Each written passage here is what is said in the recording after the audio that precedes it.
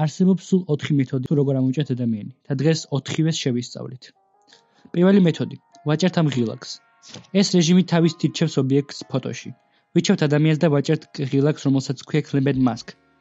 ეს შლის იმ ნაწილს, რაც არ მომნიშნეთ და ტოვებს მარტო მონიშნულს, მაგრამ ამ რეჟიმს აქვს თავისი მინუსი. ის ზოგჯერ ერთ ნაწილს არ ირჩევს და ფოტოს ცუდა ჭრის. შეგიძლიათ ნახოთ თუ როგორ ამოჭრა მან თავისით.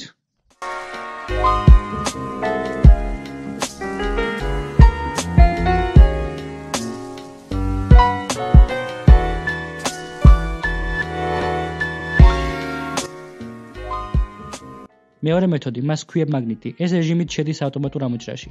ჩვენ უბრალოდ უნდა ჩავიაროთ მაუსით ადამიანის კონტურთან და ის თავისით ირჩევს თუ რა უნდა მონიშნოს. ეს რეჟიმი უფრო ფიგურებისთვისაა შექმნილი.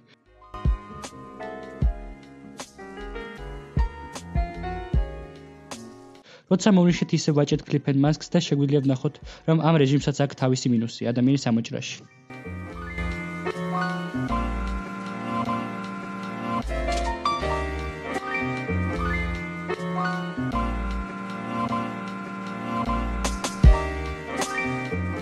მესამე მეთოდი, რომელსაც ქვია select subject. ის ეძებს ობიექტს ერთი ღილაკის დაჭერით. ეს მეთოდი ჯობია გამოვიყენოთ იმ დროს, როცა ობიექტს უკან ერთი ფერის ფონია. ისე ვაჭერთ clip and masks. ამ რეჟიმად სულად ამოჭრა.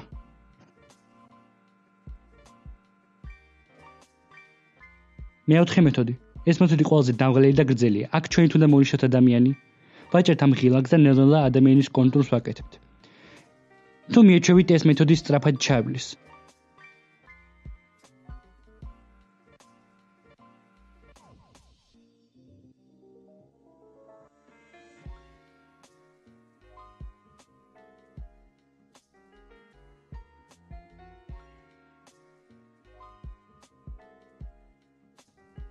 და როცა მომნიშნავთ, ისე ვაჭერთ clip and masks.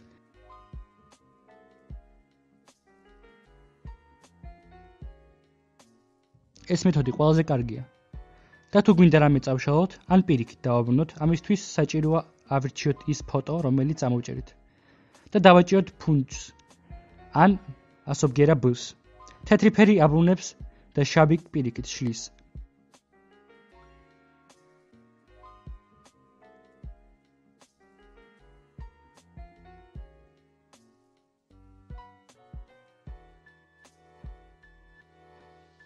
და თუ შემთხვევით წაგვეშალა რაიმე, დავაჭერთ კნოპკა Ctrl+Z და ბოლო მოქმედება გავქმდება.